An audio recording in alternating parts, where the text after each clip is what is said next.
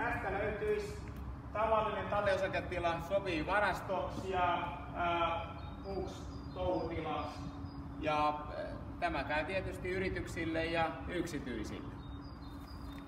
Sitten tästä seuraavan seinän takaa löytyy huoltotila, joka soveltuu ammattimaiseen pesula- ja autokorjaamotoimintaan.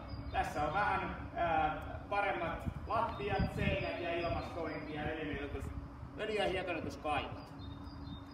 Sitten meiltä löytyisi vielä sitten taas varastotilaa, missä on messa ja parvi, joka tarkoittaa sitä, että sinne voi perustaa taukotilan tai pukuhuoneen tai käyttää vaan lisävarastona tuota parvea. Ja toki sitten veesestä tulee lämmintä vettä, jolloin on mukavampi olla tässä tilassa.